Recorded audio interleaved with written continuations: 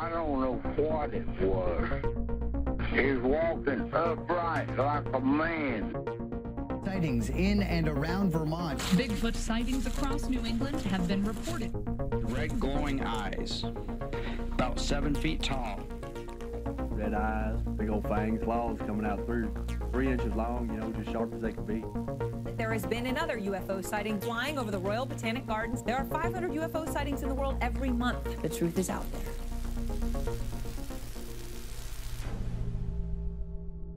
Yeah, I've been working on uh, a jank deck, a jank Super Friends deck. Jank is the best. Also, what is what I don't know what super friend a super friend you can't just say in magic, you know, form of bucket.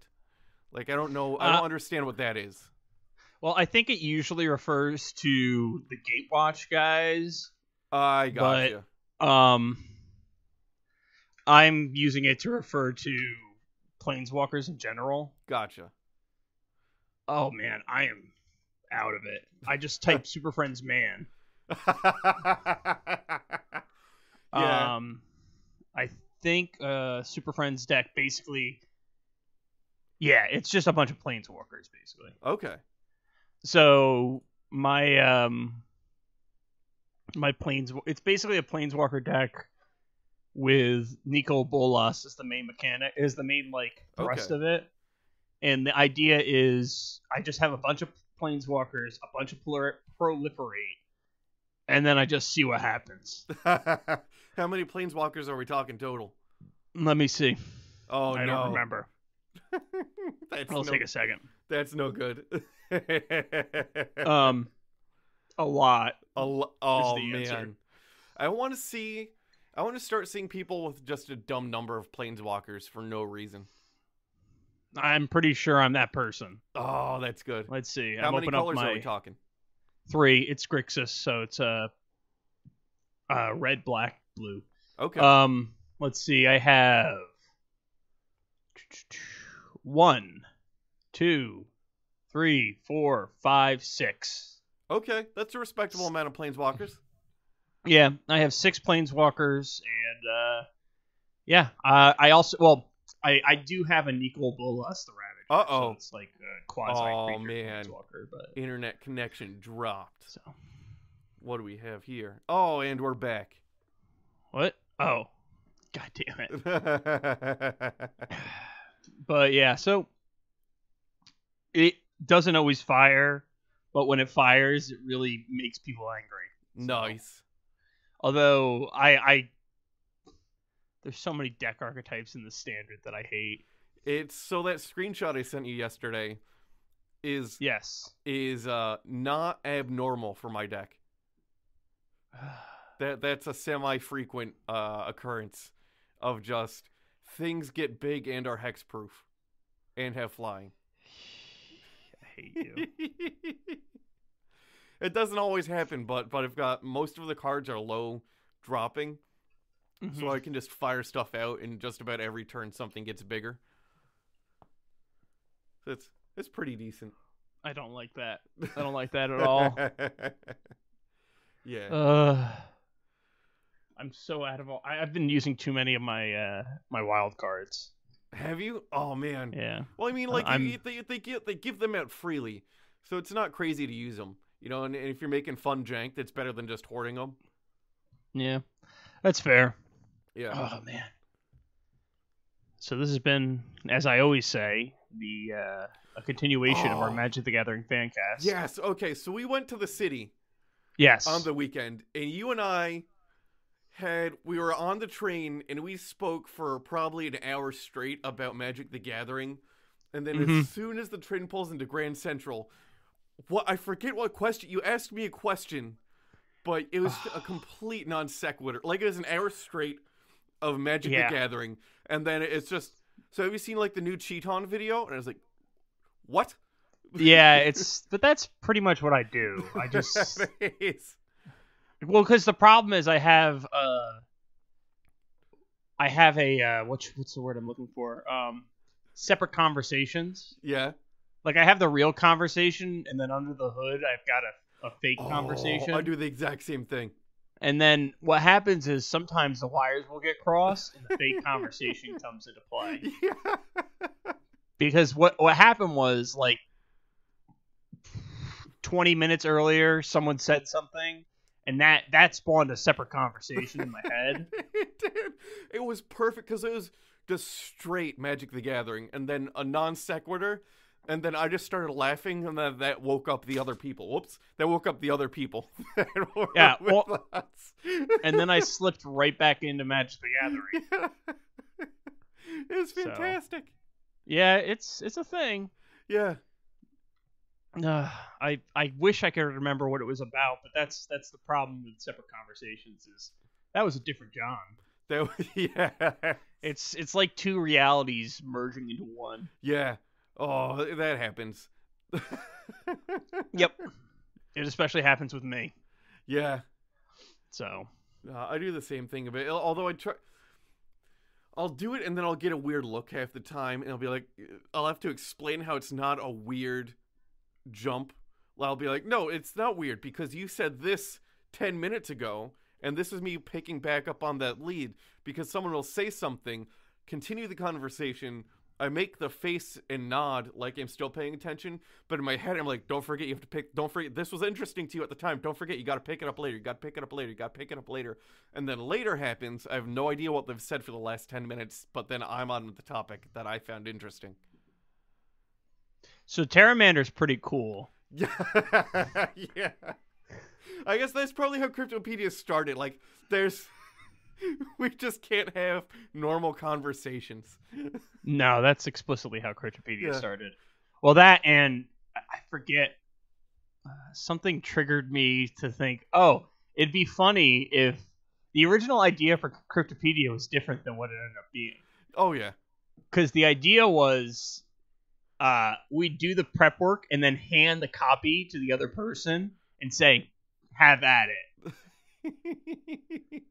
Um, but that that failed to, to get wings because um that sounds awful. yeah. yeah. No, that'd be the worst. Yeah. Yeah. So Oh, so I shared this with you. I don't I haven't told anyone else about my new Bigfoot theory. And that is Mm-hmm. Bigfoot. So everyone know, it's hard to get a picture of him. He's always blurry in photo and oh, video. God, this theory. And I submit that the reason, the cause of that is that Bigfoot emits EMI radiation, causing any electronics in the area to not capture a clear signal of anything when it's pointed directly at him. Thus, everything is blurry. And I think that makes perfect sense. And if you think about it, he's covered in fur, so maybe it's something about all his different furs rubbing together cause this. But why then in that case why why don't gorillas cause it? Why don't uh why doesn't Henry Zebrowski cause it? Okay, so perhaps way back when, when, when the branches were diverging, there's a small group of Bigfoot that were Mhm. separated, and thus they evolved con- absolutely separately from the rest of that animal population. And these characteristics, in some way, helped them. And now, way down the road in the future, they made their way out of that separated area. And now, in the world, um, us interacting with them can't properly perceive the Bigfoot. You've described ev- natural selection evolution by natural selection, but you've applied it in the worst most insane way. Thus, the best way. Yeah. Yeah. Uh-huh. Uh-huh. I- I'm reminded of uh of Billy Madison, the scene where no in no point in that rambling uh conversation did you ever even come close to hitting the topic. Uh yeah, yeah. I don't remember the full quote, but it it applies. yes, it does. Did you also see a penguin cuz that's a problem. I just saw a picture of a penguin, and it was uh, something like the penguin has uh, ate all the fish and has become very fat and does not communicate anymore. And I thought, ah, my spirit animal. Ah, yeah. So, uh, I, I guess welcome to Cryptopedia, an explanation into the myths and legends that haunt the human mind. Each week, we'll take you onto a journey exploring the mysteries of the world, tackling the tales of monsters, folklore, and paranormal. And th- that thing, the words, definitely lives under your bed. I'm Brandon, Uh, I'm John. and uh, this is the only podcast we'll talk about a next episode where we could have a full day city adventure and just dive into Magic the Gathering. Mhm. I have to point out if you're not on Magic the Gathering Arena, get on it. That's our jam. It's very good. It is pretty fun. Yeah. It's zero okay, for people who got out of Magic, this is zero investment. Um th- that's it. Just zero investment. You get card packs. You can pay money if you want. You don't have to. Uh we are not being paid. And uh basically if you just like win a few games, they give you like 500 you can get like a thousand gold just casually playing a day and that's enough to buy like a pack and open it and, and it, it's great it's great it's just nothing good about or bad about it Although I will, I will accept Hasbro sponsorships. we will i'm pretty sure they're trying to distance themselves from us at this point That makes me sad. Yeah yeah i estimate that this creature began uh, it's the account sort of began around the, the 1500s it's a, a little ambiguous It Mhm. roams the Philippines. It is humanoid in appearance and is still seen today. Also, it's not Bigfoot. Is it the Aswang? It is the Aswang. And you want to know something? Hmm.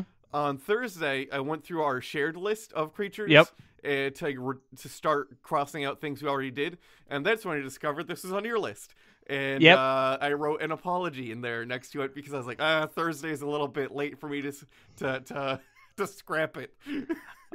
I honestly didn't care. okay, good. Um, this is the second time I have looked at the list after writing a full copy. I I almost never look at the list. Um, let me see, let me see, let me see. Well, the Kate seed. Oh, yep. Oh shit, my bad. Four twenty five nineteen. For real, didn't know. It was seriously low on data. yeah, yeah, yeah. So like, it, it was really hard anyway. I thought, oh, I heard of this one before, so it might be easy. It wasn't, so I don't feel too bad. Uh, I'm not. There's a reason why I hadn't gotten to it yet. okay. I luckily found a site that saved me. It's the primary source uh, for most of this podcast. I did just drop it into um, the folder. Uh, it's called Chunt's Father, and uh, it's pretty good. The website, by the way, aswangproject.org, uh, surprisingly had a lot on it. Hmm. Yeah, so I thought, oh, they saved me because I was having a hard time, and I got lucky at work today. I was having, I, I was very concerned about my next episode, but I think I found some resources that can provide me a couple, couple solids out of it, which is nice. That way, I'm not panicking throughout the week. I'm just gonna meditate and let the universe tell me what I do next. Oh, you're playing with fire. You are playing with fire. I tried that, and then I, I was like, oh man, I'm gonna have to do something weird. Um, I finished next week's episode today. holy shit, I am jealous. Okay, so I've done that before on the Skinwalkers, where like, I I, I was done early. It is a god. Like there is so little. Oh. just, I have so much time to do so much. It's like, it's like you just found out you have an extra day off work you didn't know about. it's so Uh, nice. I think you misunderstand. I mean next week's episode for recording. oh no! Yes. Oh, so that's that's uh today. That's today. Yes. You finished today's episode today. the, the one we're going to be recording today. Yes. Yeah. I nice. Uh, so Aswang is the general term, almost like uh, generic trademarks, i.e., Mm-hmm. Band Aid or Kleenex or Nintendo, if you're everyone's grandmother, um, that describes a humanoid shape shifting creature. So Nintendos are actually Aswangs, is what you're telling me? Yes, Nintendo is Aswang. Okay, good. good. Not and not So- Aswang, and I will say the original title was S Space Wang because I'm a child. Yeah, well, I mean, I'm also now thinking of Number Wang. Number Wang. Number Wang gets really weird Yeah. late in later seasons. oh man, yeah. Um, So typically, they're similar to vampires, ghouls, and uh, like classic witches and succubi. Nice. Uh, the nice, nice.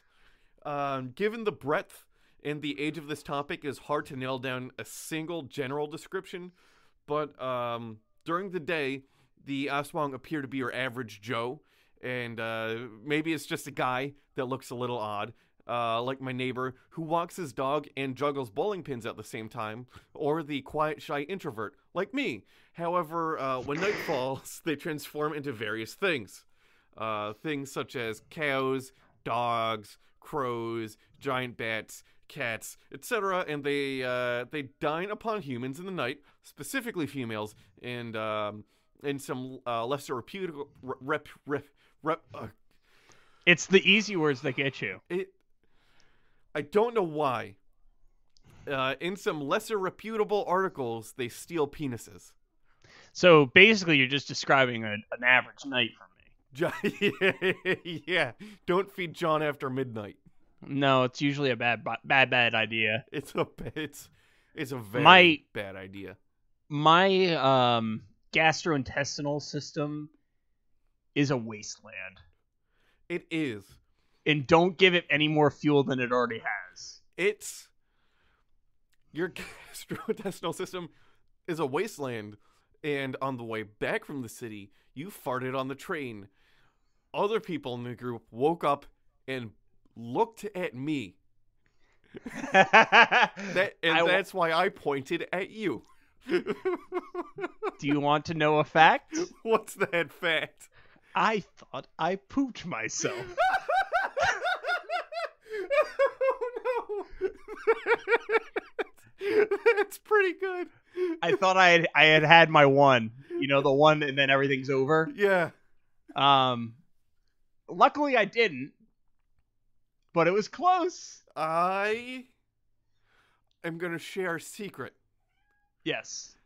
Um so that count that that uh days days since uh uh last injury uh Mhm. poop counter is uh Yep. was reset 2 weeks ago. Oh no, no, no, no. Luckily, I was already in the shower, and I thought, "Oh, there's a hot fart. I'll uh, let sneak it." And it was. it wasn't. Uh, This is a very listenable episode. yeah. so far. this is gonna be. We're we had a like we had a long run we had the of uh, most uh, exercise we've ever had in a very long time, and Mhm. we're rec- recording at a. it- It's an evening recording rather mhm. than the morning. So, as as you say, things are gonna get weird. Yeah, I, I'm I'm uh, I'm thinking that next week's is probably going to be one of the weirdest. I can believe it. Uh, writer for the Aswang Project, a collection of individuals dedicated to the education of Philippine folklore, Jordan Clark writes on a version of the Aswang that I found to be extremely prominent within the writings and media on the Aswang. Through Jordan, I discovered that these ideas, uh, which I will get into, were already extant, but were popularized in 1991 in a paper written by Herminia Menende- Mendez, um, who is a folklorist out of California, in a paper titled The Viscera Sucker and the Politics of Gender. Uh, I will be using Jordan's article titled uh, Babaylan to Aswang, a Collective Dis- Deception, uh, as a primary source for uh, at least this portion. Fair enough. Mm-hmm. Okay, good. I thought I had a burp. I didn't. Oh, but I you did. did. uh, in this article, Jordan points out that um, the version of the Aswang that I was already familiar with uh, was about the female viscera sucking, uh, self segmenting witch classification of Aswang.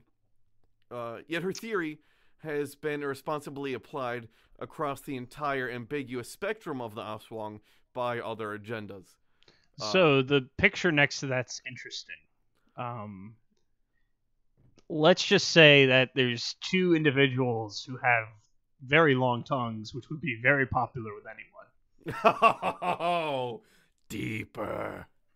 Oh no! a It's a good thing that that man's dead. that almost I- I no usually- will get. Yeah, I usually don't like to say that, but man, that dude was an actual nightmare creature. yes. uh, I picture the uh, the creature the uh, from Valve, the Valve logo creature. That's sort of how I picture, it, but with a fedora. And I feel like that's uh, that's probably accurate. Uh, Um, and that picture, by the way, is what I thought the whole of uh, uh, Aswang was when I started. So that's what I was most familiar with, and we'll get Okay. into those uh, Okay. specific subcategories.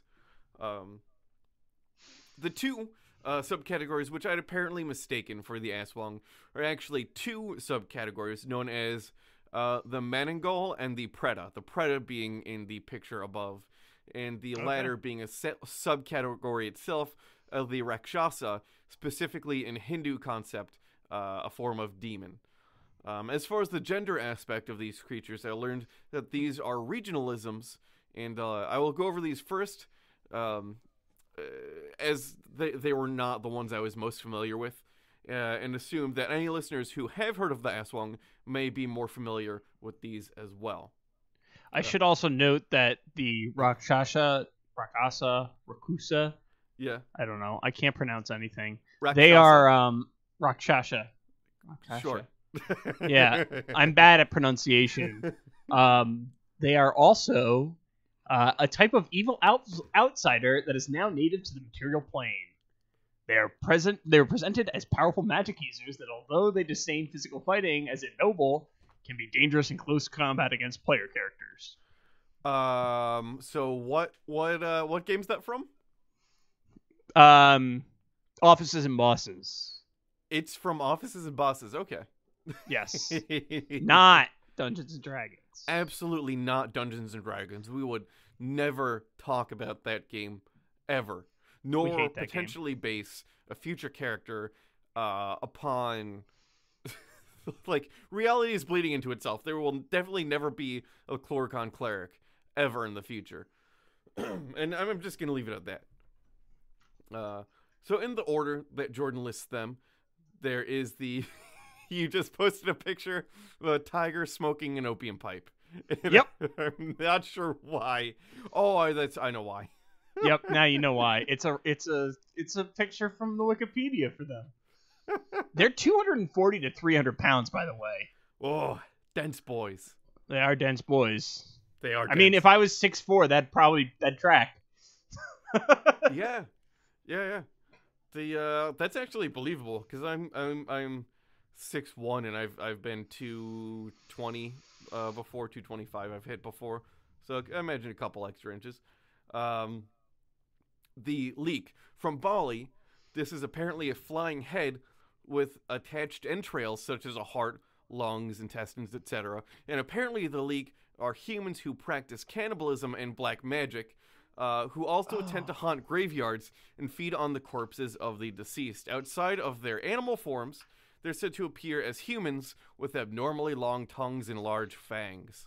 that also that actually reminds me of something from Malifaux. Yeah. Um, it's a resurrectionist unit. Uh, it has. It's basically. Um, The Google Foo is furious. Oh, what are you called? What are you called? You see, the problem is, unfortunately, uh, Malifaux is less popular than I would like it to be. Yeah. so it's very difficult to find certain things like super quick. Yeah. Um, which, if you don't know what Malifaux is, it's a uh, a war game in which it's basically a hodgepodge of different aesthetics. Um, everything from Victorian England to um, Japan, and it's a yin the Penangalan. That's what I was thinking. Okay. Uh, it's the pe- it's a Penangalan, which Okay. I think is a Chinese version of the thing we're talking about, okay. but I don't know. That wouldn't surprise me, um, as all these areas are, are uh, they're very close. The the you know the majority of them are, are Asian countries, so I wouldn't be surprised if there was uh, an, a form of that. Uh, somewhere. It's basically what happens with it is, oh, you know what? Actually, the picture that you have right there yeah. is on the Wikipedia page for this. okay. So how about that? Yeah, does not surprise me.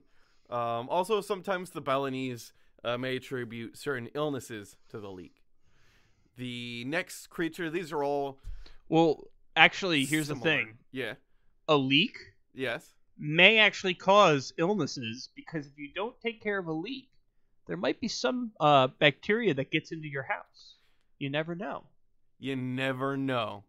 Might might it also might cause black mold. It could that- cause black mold. That's not good. This is leak, by the way, spelled L E Y A K. Yeah, I know, but I'm I'm pre- pretending the Y is silent. Okay, gotcha. hmm Because it is. Yeah. Next is the Krasue. In Thailand, this creature manifests itself as the head of a woman, also with her internal organs hanging about. Um, and these are nocturnal creatures that are said to glow or are followed by a will o wisp. And Hmm. the Krasue is under a curse that makes it forever hungry. And she So will a hungry ghost. a hunger ghost, yeah. The Krasue is uh, forever hungry, and she will consume the blood of animals in the night. And if none are found, she will also eat feces and rotted flesh, and then wipe its mouth on your clothes that it finds hanging on a clothesline. And this is why you should never hang your clothes to dry at night. That sounds like it was created by a particularly ambitious HOA. Yeah. yeah. Let me tell you, I hate HOAs. I, I have a HOA, and I'm not allowed to keep my garbage cans on the side of my house anymore. It's making me so angry. You could put up a small fence, like a like a garbage can's wide fence. What I think I'm gonna do is I'm well, because if I had to put up a small fence, then I have to get an architectural review. So what I think I'm gonna do is I'm gonna get a fence, put it on rollers that have stakes, and then that way I can just be like, oh no, it's it's not a part of anything. I'm gonna just pick it up and roll Is that away. is that from the HOA the about the architecture review? Yeah. Oh, okay. Because if as long as something doesn't touch the outer walls or the structure of a house, you don't need a, it to be reviewed by an architect. You could just Yeah. sort of go for it. Um, and even if it does touch those, this is just New York stuff from like ten years ago, so it might not still be accurate. Even if it does, um, you don't need an architect. You just need to have an architect or engineer stamp it. So you just have to review it and stamp. it. You don't actually have to pay an architect to come up with plans. You can have just a designer do it and then pass it off and have someone stamp it, and you're you're solid.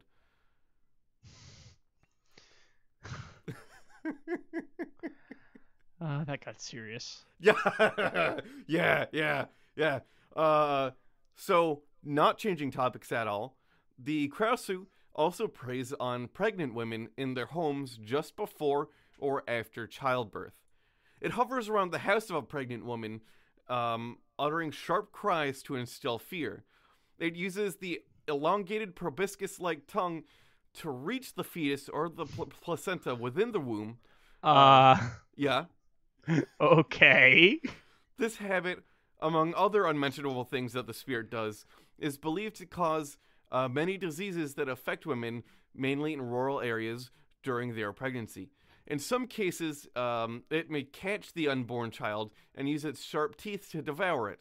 Uh, in order to protect, in order to protect the pregnant woman uh, from becoming victims uh, before delivery, their relatives often place thorny branches around the house, um, and this improvised thorny fence discourages the Krasue from coming to suck the blood and causing other suffering to the pregnant lady within the house. So here's the question: Yes.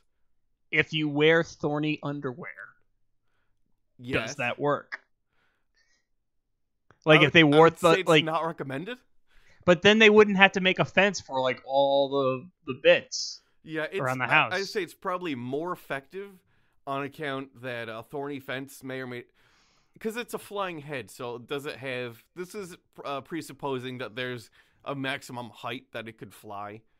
Um, so Hmm. thorny underwear is probably more uh, effective, and then it doesn't matter how tall it can fly because the uh, the goal is uh, protected.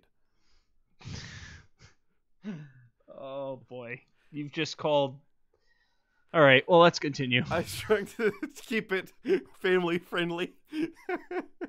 Uh, yeah, it's it's family friendly. All right, we we talked about. Uh, I, I I talked about crapping my pants on a train. We're really family friendly. We're a really family friendly joint. Here. Oh yeah. Uh, after delivery, the woman's relatives must take uh, and cut the placenta far away for burial to hide it from the Krasue. And there's the belief that the placenta is buried deep enough that the spirit cannot find it. So you gotta hide it. You gotta be sneaky. You gotta take it far away. Uh, however, the Krasue must reattach itself to its formerly headless body before the day comes, for if not, the body is destroyed, um, and this will cause the creature to die in terrible pain. Uh, during the day, it will appear as a normal person, uh, but it may also be defeated by uh, cutting off its hanging guts and hiding them. So if you see it, cut the guts, hide them. I mean, cutting the guts of anything usually kills it. You know that's not wrong. Yeah. That's that's that's pretty. I didn't think about that when I wrote that. Uh, that general. That's just generally true. That's just a generally true statement. Yeah, I, I would say. Yeah. In general, uh, cutting the guts does kill something. The next creature on the list is the Penangalan, and uh, well, that was actually what I was thinking of. was it? Oh Yeah. yes, yes, yes, from from like right earlier. yeah, yeah, that's that's what I was thinking of because there's Yin the Penangalan yeah, um, in Malifaux, yeah. which is a Ten Thunders um, unit. okay. It's uh-huh. also extremely similar to the previous two things we were just talking about. Yeah, that's why these are all sort of clustered together because they're essentially regionalisms of the same creature.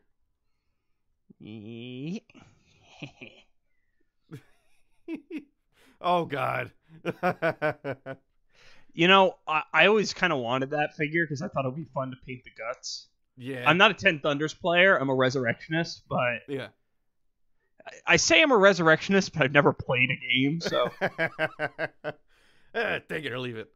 The uh, the Penangalan, while the description is identical to the other two creatures, is uh, its mythological origins are different, and this is a very beautiful woman who obtained her appearance through the practice of black magic and deals with the devil. hmm. Mm.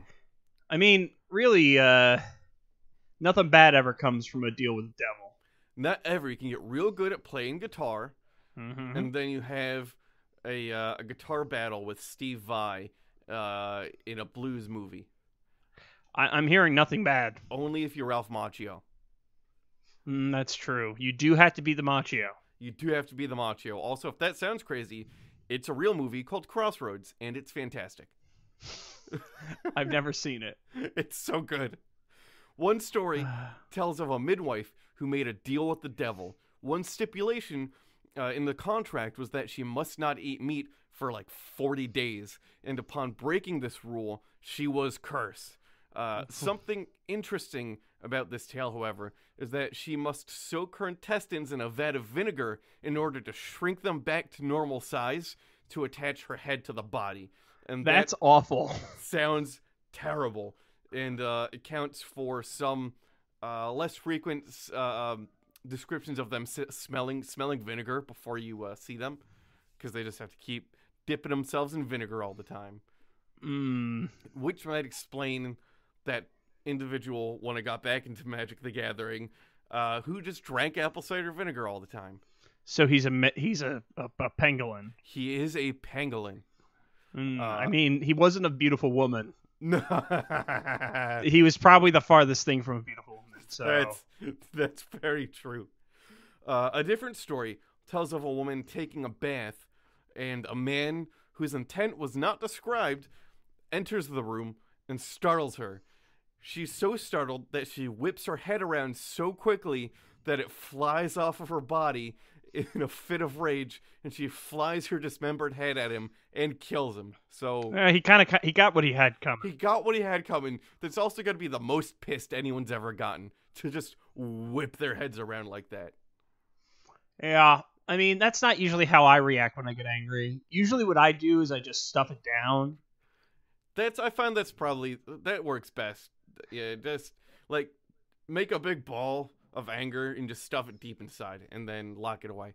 And I mean that's what happens with me. Yeah. Yeah. I mean, it, it's not like I'm one of the reasons why I go to therapy every week, but you know, whatever.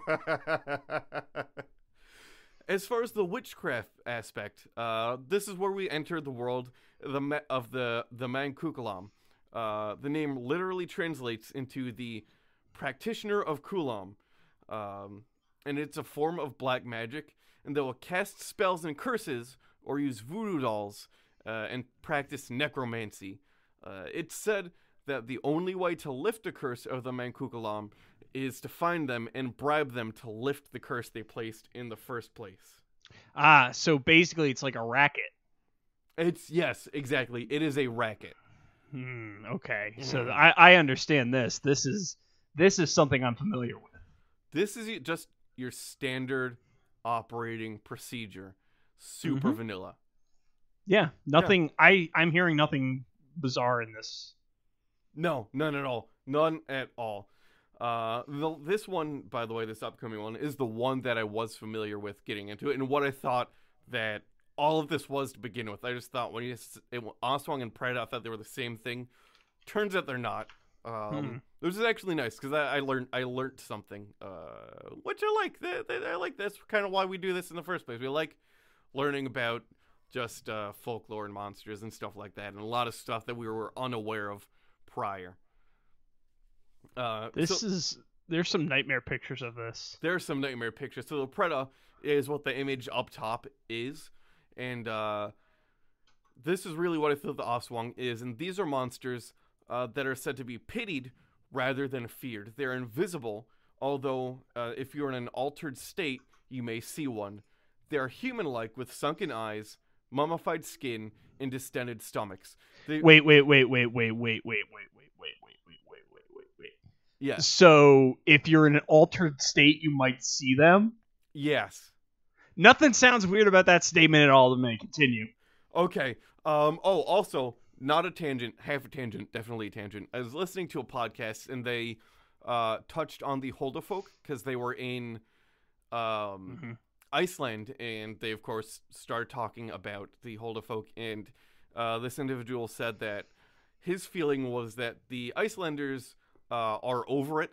They're sort of just like just over it. They're like just stop, just stop asking about it. And when he asked the taxi driver, he said that his uh, his feeling was that a lot of the ideas of Huldufólk came from writers who were on mushrooms, and that people didn't believe it, and then they took mushrooms, and then they saw the Huldufólk, and then oh shit, I'm wrong, they're real, and then they wrote about it. So it's this sort of self-perpetuating mushroom trip. Well, listen, you just got to take the mushrooms. Why? J- Just take the mushrooms, then you'll see them. It's it's the magic that lets you see them. Yeah, it's it's the magic. They're hidden unless you're on mushrooms, and then oh boy.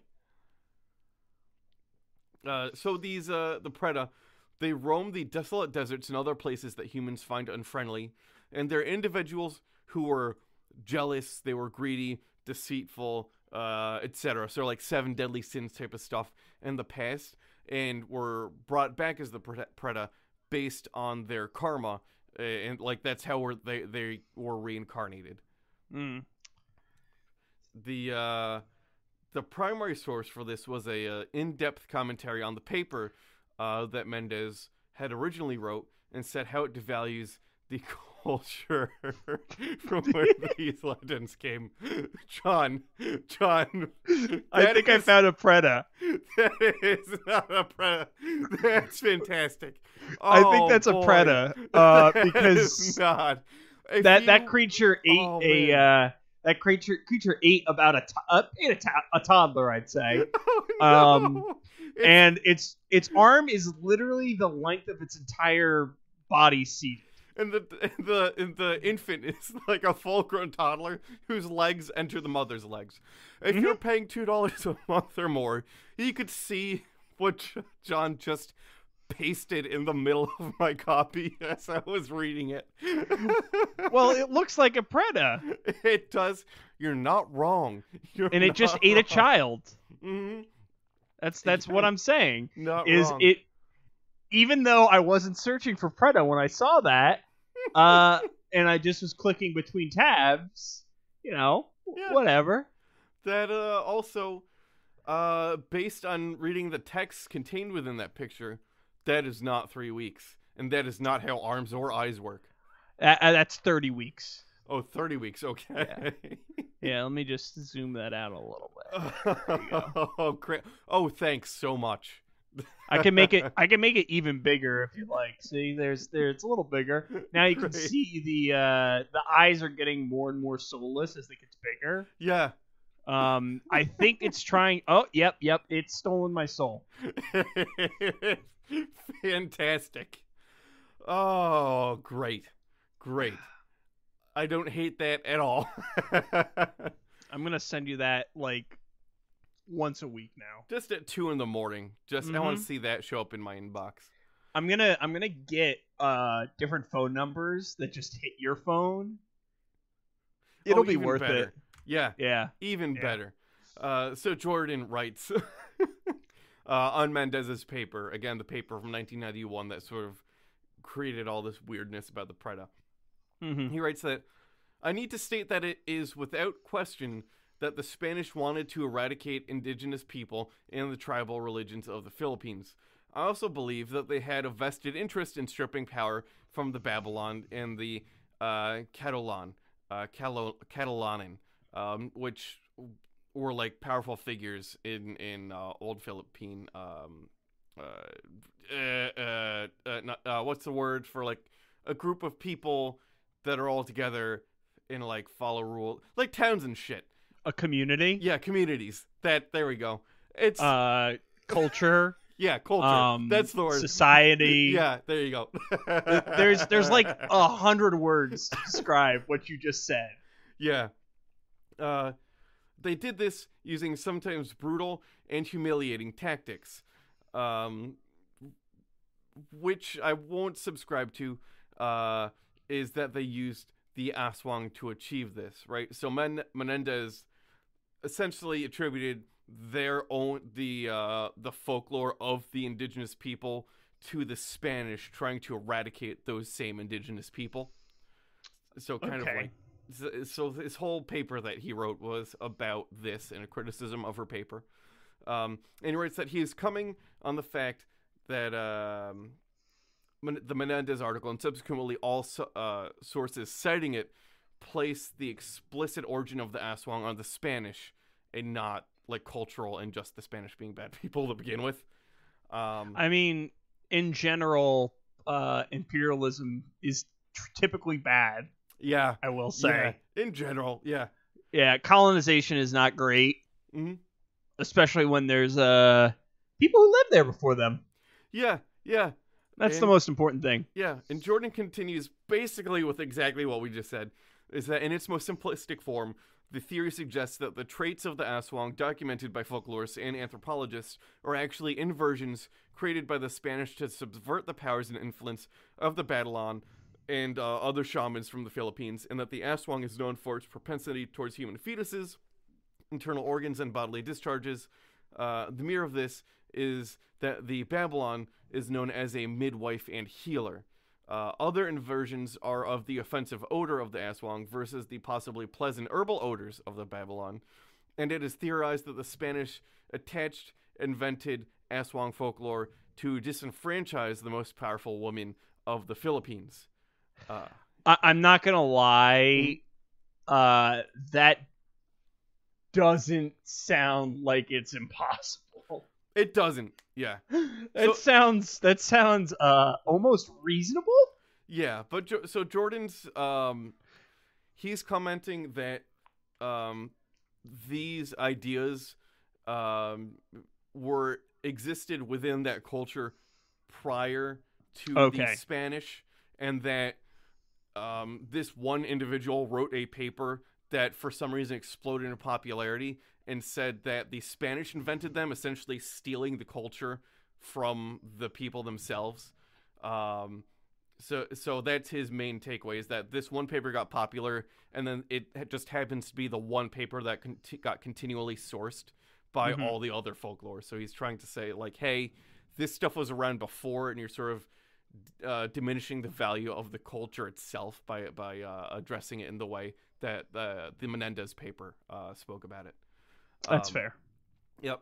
Uh, so he continues saying that I can't stress how important it is to stop blaming the Spanish for the invention of the aswang, uh, and that this thinking not only dev- devalues and discredits a very important cultural phenomenon, but it sends people down an inconsistent and demoralizing path uh, while exploring Philippine mythology, and that the uh, demonization theory discourages the study and understanding of the uh, evolved indigenous beliefs that continue to uh, persevere both rural and urban communities, and that the aswang is a unifying aspect of Philippine culture, uh, culture uh, but instead has been used to divide the educated from the ignorant, and that this is one of the mate, cul- great cultural tragedies of Philippine modernism Um, which was a, a, a mouthful. But like, so this is at the end of a very long paper. So at this point, he's got to try to like drive, that like that's why it's being written that firmly like that.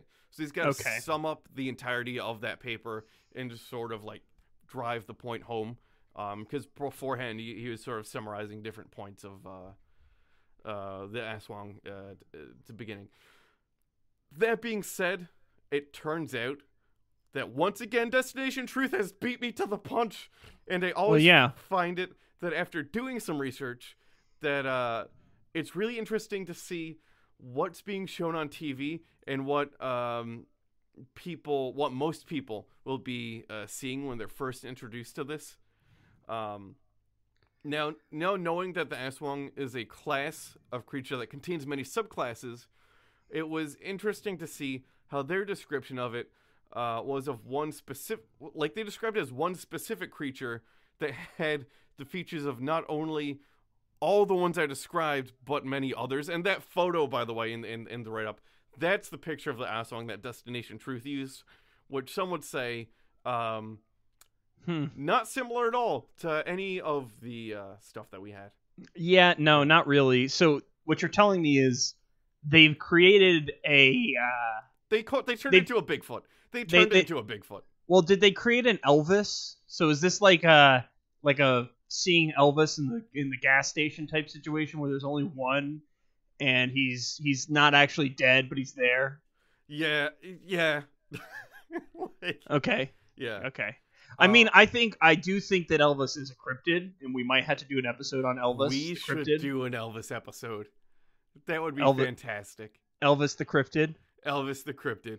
I mean, it will have a lot of Weekly World News articles. in it. Yeah, That's I think all I'm that'd gonna be say. fantastic. Um, I will say that it may have been pronounced asswing several times, Amazing. which yeah, right off the bat, Yes. great, fantastic. Yes. I yes, love it. Yes. Uh, More. yeah, more. they set up near a church uh, with their quote audio recording equipment, which I, I assume is the most wordy way to say microphones. yeah, I that's kind of weird. Yeah, it's super weird trying to. They try to make just mics sound super scientific. Uh, I mean, uh, let's just let's be real. Uh they are in fact super scientific. yeah, they're super scientific, setting up mics to catch the ass wing, and then they eat uh, balut, which for the uninitiated is an egg with a baby chicken inside. Uh, they then Mm. spend the night listening to some menacing frogs and attempting to find said menacing frogs. Mm-hmm. They- Yes, yes. Yes, they That's examine. that's, yeah, that's that's pretty much. it's the so worst kind basically- of frog. They were looking for for uh, frogmen. Yeah, they're looking for frogmen. They examine their thermal camera and find a rather conspicuous cow. They then. Mm. Mmm. I mean, that looks like a deer to me. It does until they turn off the thermal camera and it's just clearly a cow. like the whole point of the of the the thermal camera to begin with is to make things you can see anyway look spookier and weird in these Yeah. types of show. Because like it's not like they have a full crew with like great lighting, and it's also not that dark to begin with, Yeah. Hmm.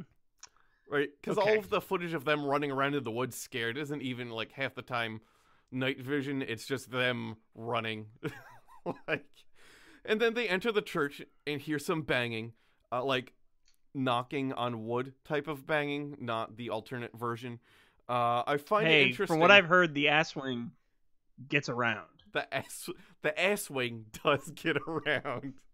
Uh, So who knows? Yeah, I find it interesting that although they had not been given any information on the ass wing, uh, at least so far in the episode, there's not really any research that was done. Everything they described in the first few paragraphs on Wikipedia ends up being how they f- defined the ass wing or describe it in the television show. Hmm. Yeah, Hmm. That's Uh, interesting. they describe a tick tick sound, which is literally in the first paragraph of Wikipedia, as well as other sounds described in the article. They also begin um, showing great anxiety upon, up, but oh god, upon seeing a cat. Again, it's the normal words I can't say. Yeah. Yeah. It's But- real bad. It's real bad. They just see a cat and get scared, basically, because like, oh, shapeshifter, it's a cat, it's the ass wing. Um, they leave the church. They re-enter the church, and one investigator uh, says that there is a woman and a man here. Although at no point uh, is anyone outside of the team shown or heard. So she, they just But- say it. The microphones don't see it. The thermal camera doesn't see it. They just submit that with nothing, just nothing to support it at all. But if if it's a church, it's not weird for there to be a woman and a man there. It wouldn't be weird. I would assume that they, prior Like- to showing up, reached out to like the local community and said, "Hey, we're going to be shooting around here, just as a heads up." You know, just the same way every other television crew like does that. like, like for for example, when they're shooting around here, weeks ahead of time, like they were posting everywhere. Hey, we're filming here. Hey, we're filming here. Like, you know, we're going to be closing this road and that road and all that. That everyone was Yeah. probably aware. They, it was just them in the area, and they just said for no reason there's a woman and a man. Um, they also get extremely and ex- hang on, let me figure. This should be all caps. This where I wrote extremely. Imagine I wrote that in all caps. Extremely scared of a dog. Um, shown in this photo just to the right, which I'm pretty sure uh, a mighty squirrel could have fended off. Uh, but Well, hey, here's the thing. Here's the thing. Small dogs are vicious. small They got dogs that- are pretty vicious. They got that. Uh, they got that Napoleon complex or something. They do. They do.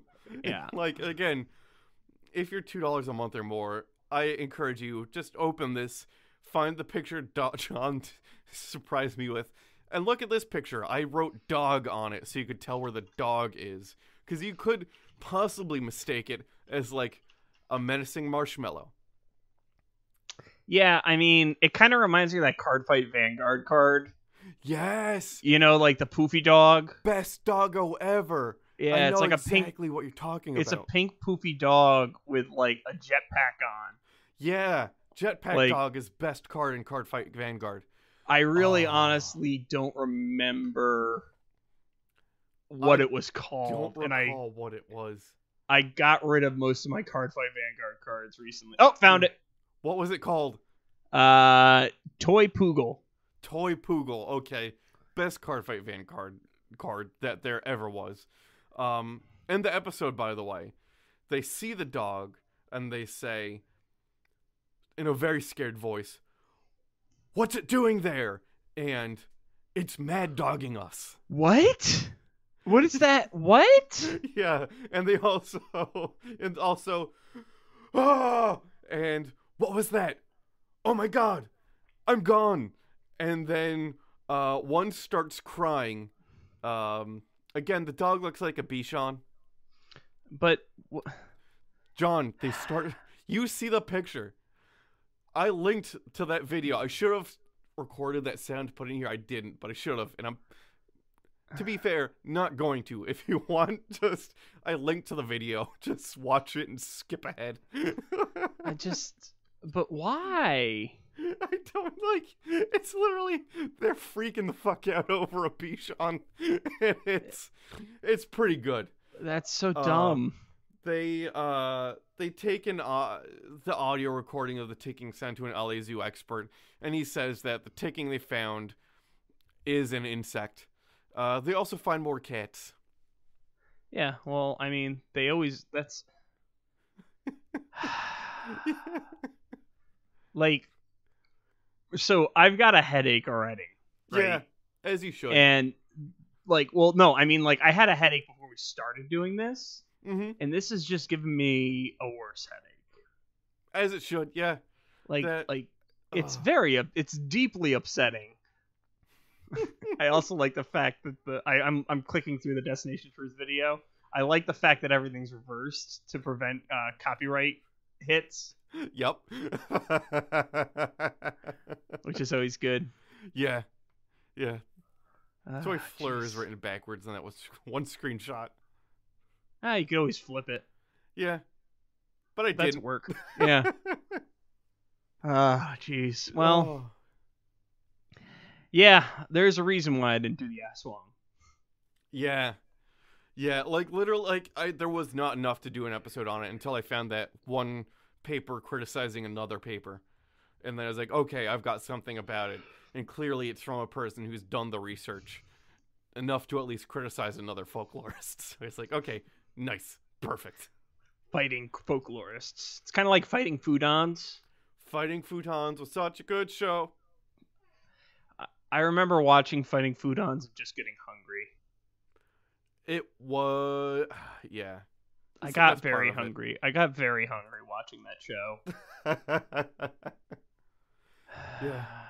I'm I'm one time in the middle school library that we went to, I took home a book, a cooking book because I was so hungry. at Like, oh no. like I was I was so hungry that I Oh. took out a cooking book. The uh when I worked at the farm stand, the uh, Mhm. librarian from the college would come in uh pretty frequently just because of proximity. And he'd get food and he'd he'd always make library jokes and it was fantastic. Like he- he'd come in and be like, "You know, I'm getting into wrestling, right?" And we're like, "No, I I didn't know that." And he'd go, "Yeah." He goes, "I'm I'm the Dewey Decimator," and then just pay and leave.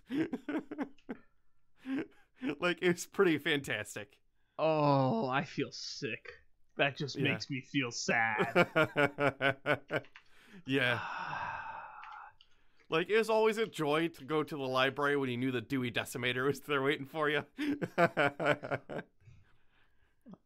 It reminds me of uh, Conan the Librarian oh yeah. from uh, UHF. Uh huh. Very good bit. Uh, I think it was basically someone asks um, Weird Al's character, who is Conan the Librarian, Yeah. uh, where a book is, and he's like, he picks the dude up and like Uh-huh.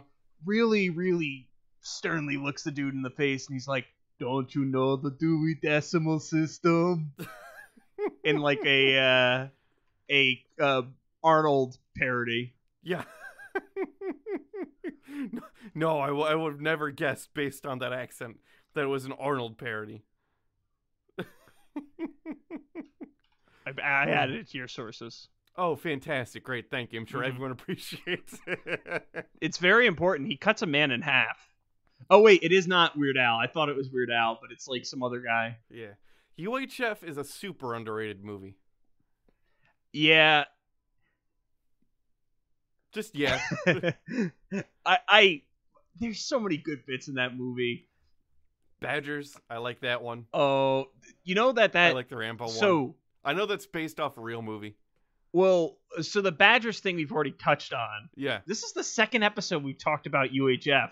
Probably won't be the last either. It's definitely not going to be the last. I can guarantee that. Um, in it, like like for one, the Badgers guy, the movie was dedicated to him because he got hit by a hit and run situation. all Yeah. that stuff. Um, but also the uh, the Rambo scene's just gorgeous. It's beautiful. It's it's, the best part of cinema. Ah, uh, they yeah, have gotten a- an award. yeah. Well, I'm pretty sure Orion, the studio that made UHF, folded after they made UHF. Like I think Orion was literally the last film that uh, they made. Uh, UHF was the last film that Orion made. Damn. Orion Pictures. Let me see. Uh, bankruptcy, 1991 to 1995. Um, notable films: Orion Library Today. Yada yada yada. Their highest grossing film was Dances with Wolves, by the way. Ooh, okay. I didn't know that was the same studio. Yeah, they also made um, Bill and Ted's Excellent Adventure. Nice. Third one is in the works, I that's so wild to me. right? Yeah, Bill and Ted Face the Music, August 21st, 2020. Wow. Right? Right? That's think- surprising. Think about how crazy Keanu's freaking life has to be. He's coming off the back of John Wick 3 to do Bill and Ted 3, I mean, that sounds good though. right? Like it, it looks I, I'm gonna like it. Or I'm gonna hate it. Or I'm I not don't gonna care, care. either way. Yeah. I'm just gonna accept it. yeah. The Grim Reaper's coming back, by the way. Is it? That's going to be good. Yeah, William Sadler Sadler is the Grim Reaper in that? Yeah. Oh, that's gonna be good. Anywho, um, I've drug this episode out long enough with my talking about movies. uh, as always, if you're interested in the podcast, we have a website, cryptopediacast.com. On Instagram and Twitter, we're at cryptopediacast. if you want to Oh, email us, it's us We at froze again. cryptopediacast.com. So I don't know if John. we have a Patreon. Oh, nice. Okay. What was that? Oh, you fro- your screen froze for a little bit. Well, I was recording. I was saying stuff, and then I heard doot doot. Um, I was just talking about the Patreon. nice. Uh, we have one. We have one. Um, as Brandon has mentioned a few times, if you're donating two dollars a month or more, you um you get access to all of these show notes. Um, if you're donating five dollars a month or more, you get access to bonus content, which is like uh, I just recorded a bunch of I recorded an SCP episode. Which I um, really like. I, I'm still I have a second one that I've recorded, Yeah, but I haven't think, edited. Is is your first SCP out yet? Yeah, yeah. Yeah? I put it up on. I literally uploaded that as soon as you said I like it. I was like, yeah, I'll upload that. So I liked it. It was yeah, good. it's up. It's up on the uh, thing, and I also uh, uploaded the first section of it, which is the first SCP ever written, okay. um, to YouTube on our our YouTube channel, which is also Cryptopedia. Um, but if you are a uh, a jackalope, you sometimes get mentioned on the podcast. So yeah. we have two jackalopes now, and I think this is the first time we're mentioning we have two jackalopes. Uh, we've got uh, Clay Sinclair and Clay Sinclair. Marty Von Party, who's Best our name most- ever. It is a pretty good name. It's a pretty great name. It's a it's a pretty great name. Who uh, just recently joined the Jackalope fold. Yes. Um, We have a Facebook group where we post stuff. it's a warm uh, fold. Oof. Uh, I feel violently ill all no, of a sudden. like like really fluffy blankets. yeah. Uh, okay. I, I don't think that's what you meant. Like if you put your hand under a cat after it's been sleeping for a while. Okay, that that's fair. That kind of fold. Don't get okay. gross with it. Okay. Well, I. Uh, if you enjoy the podcast, be sure to rate, review, and subscribe. If you're listening to the podcast on Luminary, Don't. the app, please don't. Um, just don't use the app in general because it's like really screwing over podcasters who make a living off of it. We don't make a living off this podcast, but people who do will get screwed by it. Yeah. Uh, it- that's my my uh my bit of evangelism right there. yeah. Um, if you have monster requests or stories, uh, please send them and be sure to send a source. because that's our hardest. That's our our biggest barrier for entry right now. if you want, even just find if you find a good source, just like email it and be like, "You guys might like this," and even if it's not enough to get a full episode out of, we might bank it until we find like a few and then good sources, and bingo, there you go. There's Yeah. some that um, we've had some suggestions from listeners that I wanted to do so bad, but I just couldn't find enough on. Yeah, there's one that I really want to do, but I feel like uh right now I just don't have the time to do the research on it. Um so it's just kind of sitting there on my list. It's nice to have Um, a list. Yeah. I, I actually have a couple up in like I'm actively working on a few of them. Like right now Nice. I've got one, two, three, four, five, Too six, many. seven, Stop eight, it. nine, Stop it. 10, 11, 12. Too many. I've got 12 that I'm actively working on right now and slowly gathering sources. This one has a lot of sources. It's actually related to last week's episode, but that that's we'll we'll see what happens with that. Um if you got creepypasta or cryptopasta, you can send it to me, but I think I'm gonna be doing um SCPs as my uh my bread and butter for bonus content now. nice. I like those, and that's a good well of uh. There's some really good ones. Um I used to just read them. Just I just read SCPs, and then there was the SCP game. Yeah, that was weird. I uh, Yeah. I disabled the the the neck snapping one, the one that you blink on. Yeah, Yeah, because I didn't I didn't like that one. I didn't appreciate its behavior. yeah. It's very rude, hunting me down. Yeah. Uh, if you'd like, you could find me on Instagram at donkey underscore hands. My website is boyerb.com. My email is brandon at cryptopediacast.com. That's Brandon spelled B R A N D O N, not E N or A N or any other form of blasphemy. And my Twitter is at crypto brandon. Uh, on Instagram, I'm Mew2057. On Twitter, I'm JF Dunham. Uh, my website is johndunhamgames.com. And my email is john at cryptopediacast.com. Our art was done by Tom Hill. You could find him on Instagram at Thomas Michael Hill. His website is greatergloryco.com and his email is tommikehill at gmail.com. As always, I'm John, I'm Brandon. And things are going to get weird.